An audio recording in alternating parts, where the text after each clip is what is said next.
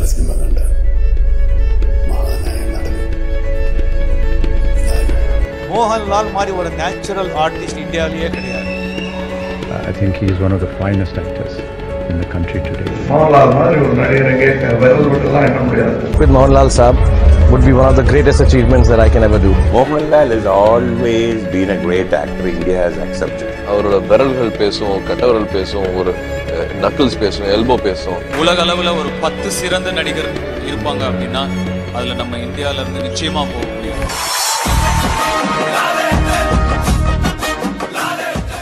നാല് പതിറ്റാണ്ടിലേറെ നീണ്ട കരിയറിൽ മോഹൻലാൽ എന്ന പ്രതിഭ വിസ്മയിപ്പിച്ച കഥാപാത്രങ്ങളേറെ പ്രേക്ഷകൻ തിയേറ്ററിൽ എഴുന്നേറ്റ് നിന്ന് കൈയടിച്ച നിമിഷങ്ങൾ പലതുണ്ട് മലയാളത്തിന് അഭിനയത്തിൽ അനായാസത കൈമുതലാക്കിയ അസാമാന്യ പ്രതിഭയെന്ന് ലോകം തന്നെ വാഴ്ത്തിയ നടൻ പക്ഷേ ആ ലാലേട്ടനെ എവിടെയോ മലയാളിക്ക് നഷ്ടപ്പെട്ടിരിക്കുന്നു എന്നാണ് ഇപ്പോഴത്തെ മുറവിളി. സമീപകാല സിനിമകൾ കടുത്ത മോഹൻലാൽ ആരാധകർക്ക് പോലും സമ്മാനിച്ചത് നിരാശയാണെന്നുള്ളതാണ് സത്യം. നീയറ്റിങ്ങര ഗോപനും ലക്കി സിംഗും കാളിദാസും ഒന്നും മലയാളി കാഴ്ചക്കാരെ ഒരു തരത്തിലും തൃപ്തിപ്പെടുത്തിയില്ല എന്ന് സമ്മതിക്കാം. പക്ഷേ കേവലം ഒരാണ്ടിന്റെ കണക്കെടുപ്പിൽ തീരുന്നതല്ല ഈ അഭിനേതാവ് തുറന്നു വെച്ച ഭാവസമുദ്രമെന്ന് ഓർക്കണം. അതിമോഹമാണ് അതിമോഹം. എന്റെ അച്ഛന്റെ ചിത കത്തുന്ന കാലം വരെ നിനക്കായുസുണ്ടാകും എന്ന മോഹം. കുറെ കൂടെ നെഞ്ചുറപ്പുള്ള ആരെങ്കിലും കിട്ടുമെങ്കിൽ വിളിച്ചു കൂടെ നിർത്ത്. ജഗന്നാഥന് നേർക്ക് നേരെ നിന്ന് തല്ലുന്ന ആണുങ്ങളോടാ ഇഷ്ടം. വേലായുധനെ നേരെ നിന്ന് അടിക്കാനുള്ള ചങ്കുറപ്പ് നിനക്കായിട്ടുണ്ടേ? കിരീടത്തിലെ സേതുമാധവനും സതയത്തിലെ സത്യനാഥനും ഭരതത്തിലെ ഗോപിനാഥും കൈയടിച്ച പതിറ്റാണ്ടുകളാണ് കടന്നുപോയത്.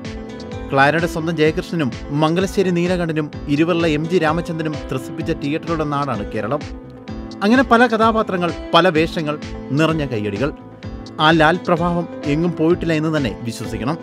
അമ്മേ ജീവിതം എനിക്ക് കൈവിട്ടു പോകുന്നു. എന്ത് ചെയ്താലും അവസാനിക്കുന്ന വലിയ തെറ്റില്ല. ജീവിക്കാൻ ഇപ്പോൾ ഒരു മോഹം തോന്നുന്നു. ആ തെരുവിലാണ് സേതുമാധവൻ എല്ലാം നഷ്ടപ്പെട്ടത്. ആനി മോനെ സ്നേഹിക്കുന്ന പോലെ മാഗിക്ക് എന്നെ സ്നേഹിക്കാം. മോഹൻലാൽ നായകനായി ഈ ജനുവരി മാസം തിയേറ്ററിൽ എത്തിയ ചിത്രമായിരുന്നു എലോൺ. പേര് സൂചിപ്പിക്കുന്ന പോലെ തന്നെ തിയേറ്ററുകളിലും ചിത്രം ആദ്യ ദിവസം തന്നെ എലോൺ ആവുന്ന കാഴ്ചയാണ് ഉണ്ടായത്. ചിത്രത്തിന് കേരളത്തിൽ നിന്നും എഴുപത്തഞ്ച് ലക്ഷം രൂപ മാത്രമാണ് കളക്ഷൻ വന്നത്. ആഗോളതലത്തിൽ ഒരു കോടി രൂപ പോലും കടക്കാതെ ചിത്രം ഈ വർഷത്തെ ഏറ്റവും വലിയ പരാജയമായി മാറിയെന്നാണ് റിപ്പോർട്ട്. സമീപകാല മോഹൻലാൽ ചിത്രങ്ങളെ മിക്കവരുടെ അവസ്ഥ ഏകദേശം ഇതുപോലെ തന്നെയായി. ആദ്യ ദിവസത്തെ ആരോഗ്യത്തിനുമപ്പുറം പ്രേക്ഷകർ ഒന്നടങ്കം മുഖം തിരിക്കുന്ന അവസ്ഥ. ആറാട്ട് ബ്രോഡാടി ട്വൽത്തുമാൻ മോൺസ്റ്റർ എന്നിവയാണ് രണ്ടായിരത്തി ഇരുപത്തിരണ്ടിലെ മോഹൻലാൽ ചിത്രങ്ങൾ. ഇതിൽ ബ്രോഡാഡിയും ട്വൽത്തുമാനും ഒ ടി ടി റിലീസായി എത്തിയപ്പോൾ ആറാട്ടും മോൺസ്റ്ററും മോഹൻലാൽ എന്ന നടന്റെ ഏറ്റവും മോശം ചോയ്സുകളിലൊന്നായി വിധിയെഴുതപ്പെട്ടു. തിരക്കഥകളിലെ പാളിച്ചയും മോശം തെരഞ്ഞെടുപ്പും സ്ത്രീവിരുദ്ധ സംഭാഷണവും പരക്കെ വിമർശിക്കപ്പെട്ടു. ട്രോളുകളും വിമർശനങ്ങളും പലതരത്തിൽ പല രൂപത്തിൽ ഉയർന്നു. പുതുമുഖങ്ങൾക്ക് അവസരം കൊടുക്കൂ. നല്ല സ്ക്രിപ്റ്റ് നോക്കൂ തുടങ്ങിയ ആവശ്യങ്ങൾ സോഷ്യൽ മീഡിയയിൽ നിറഞ്ഞു. ദൃശ്യം പുലിമുരുകൻ ലൂസിഫർ. മലയാള സിനിമയെ അതിരുകൾക്കും അപ്പുറം സ്വപ്നം കാണാൻ പ്രേരിപ്പിച്ച സിനിമകൾ നൂറ് കോടി നൂറ്റി അൻപത് കോടി ഇരുന്നൂറ് കോടി ക്ലബിലേക്ക് നമ്മുടെ സിനിമയുടെ പ്രയാണം. പിന്നീട് അങ്ങോട്ട് മോഹൻലാൽ തിരഞ്ഞെടുത്തതും അദ്ദേഹത്തെ തേടി വന്നതും കോടികളുടെ കണക്കിൽ പറയുന്ന സിനിമകളും അതിന്റെ പടകൂറ്റൻ പബ്ലിസിറ്റി സ്റ്റാൻഡും മാത്രമായി. ആരാധകർ ആവേശം കൊള്ളുന്ന ഫസ്റ്റ് ഡേ കളക്ഷനും അപ്പുറം പിൻകാല സിനിമകൾ ഭൂരിപക്ഷവും കണ്ടന്റിലും കളക്ഷനിലും നിരാശ മാത്രം സമ്മാനിച്ചു.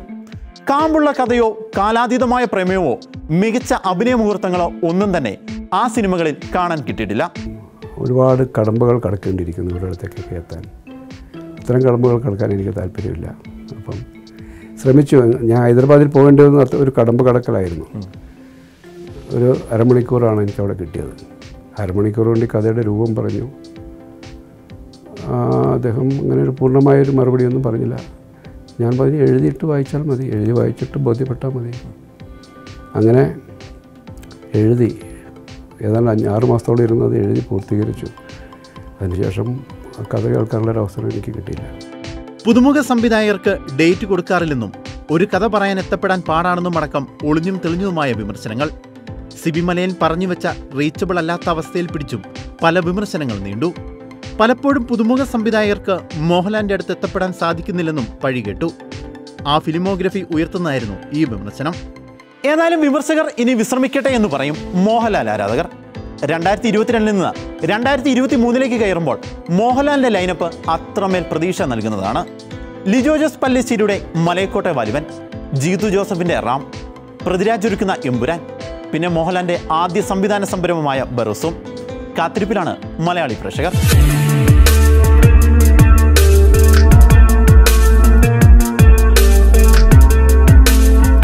മലയക്കോട്ട വാലിബൻ പോലെ ഇത്രമേൽ പ്രതീക്ഷ ഉയർന്ന മറ്റൊരു സിനിമ അടുത്ത കാലത്ത് മലയാളത്തിൽ ഉണ്ടായിട്ടില്ല.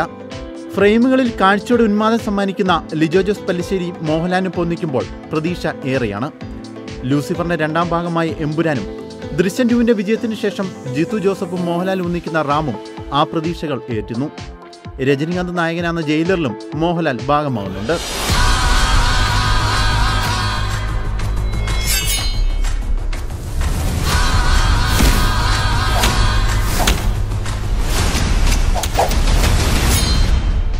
കാലത്തിനനുസരിച്ചുള്ള മാറ്റം ഇവിടെയും അനിവാര്യമാണ്. സിനിമാ മേഖലയിൽ വ്യാപരിക്കുമ്പോൾ ആ മാറ്റത്തിനൊപ്പം സഞ്ചരിച്ചാൽ മാത്രമേ സിനിമകൾ കാണികൾ സ്വീകരിക്കുകയുള്ളൂ.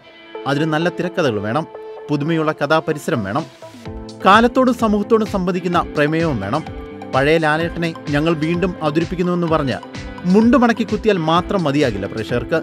മീശ വീണ്ടും പിരിച്ചാൽ മറ്റൊരു ആറാം തമ്പുരാനോ നരസിംഹോ ആവില്ല എന്നതിനും കാലം സാക്ഷി. മോഹൻലാലിന് കഴിഞ്ഞുപോയത് കരിയറിലെ മറ്റൊരു മോശം വർഷം എന്ന് മാത്രം കരുതുക. ഉയർച്ചയും താഴ്ചയും പോലൊന്ന്. അതിനുമപ്പുറം മോഹൻലാലിന്റെ അഭിനയസിദ്ധിയൊക്കെ ചോദ്യം ചെയ്യുന്നത് കടന്ന കൈയാകും. നല്ല സിനിമയിലേക്ക് നവസിനിമയുടെ ആലോചനകളിലേക്ക് താരവും സംവിധായകനും തിരിച്ചെത്തിക്കഴിഞ്ഞു.